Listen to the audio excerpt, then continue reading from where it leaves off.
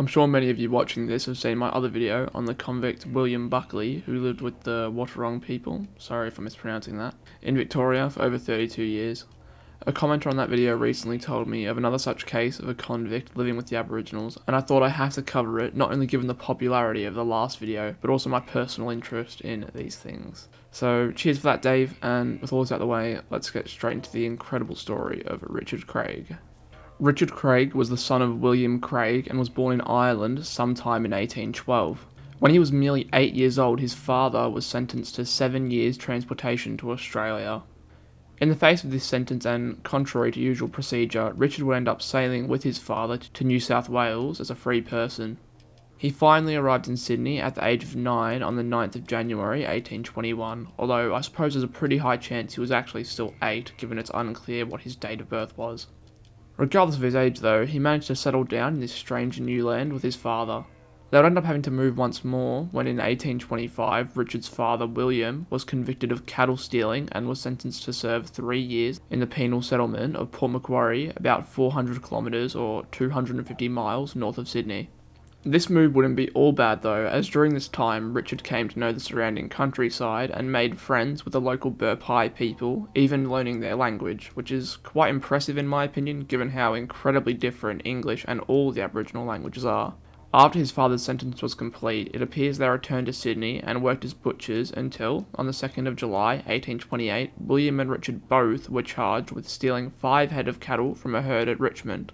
On the 15th of September that same year, William was sentenced to 14 years on Norfolk Island, and Richard, despite only being 16 years old at the time, was sentenced to death. He wouldn't actually end up being executed though, as his sentence was commuted to seven years hard labour in chains at Moreton Bay, a bit north of modern day Brisbane, under Captain Patrick Logan. He arrived at Moreton Bay to serve his sentence on the 24th of January 1829 alongside 136 other convicted felons. Turns out our now 17 year old friend was quite shifty though and escaped twice in 1829, being recaptured a considerable time after on both occasions. His first escape was in March, where he managed to elude capture for 12 days, which we'll come to find is quite a short amount of time for his standards.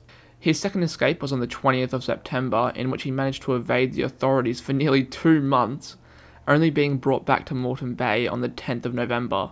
Unfortunately for him, he would have to endure his punishment for over a year after this before he eventually managed his final escape on the 17th of December 1830, now being 18 years old. Following his escape, he made an incredible journey south through the bush to what is now the Queensland New South Wales border and then through the New England area of northern New South Wales towards Port Macquarie, where, if you remember correctly, he and his father had stayed briefly when Richard was a teenager. He would end up linking up with the local Bundjalung people in his travels along the Clarence River and stayed with them for roughly a year, where he unsurprisingly became familiar with the surrounding country and rivers. Now, if you recall, Richard actually learned how to speak the language of the Birpai people when he was younger, which I believe would have aided him in communicating with the Bundjalung people, However, I don't think the languages spoken by the two tribes would have been mutually intelligible, as although they were part of the same language family, they were members of different branches, much like English and French in Europe. Perhaps someone more knowledgeable on this topic can provide some information in the comments though.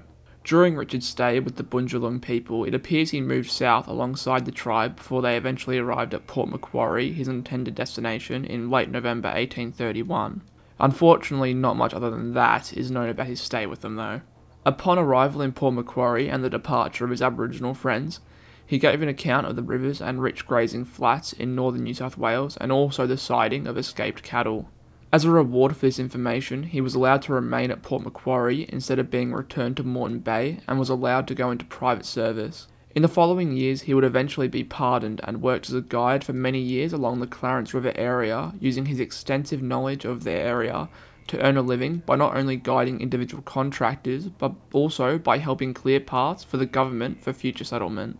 After guiding countless men through the thick bush for over 10 years, he eventually settled down and became the superintendent of a property in 1843 in Eatonsville along the Clarence River, but by 1855 he had returned to his family trade and that of his father, becoming a butcher once more. Sadly, Richard Craig would die on the 14th of July 1855 in Grafton from complications arising from a fall from a horse. He left behind his wife, Annie Baker, alongside six sons and one daughter, as well as this incredible story of his. Well, that's going to be it for this video, guys. I hope you enjoyed. If you did, don't forget to leave a like and subscribe if you'd like to see more videos like this. Thanks again to Dave for informing me of this incredible story.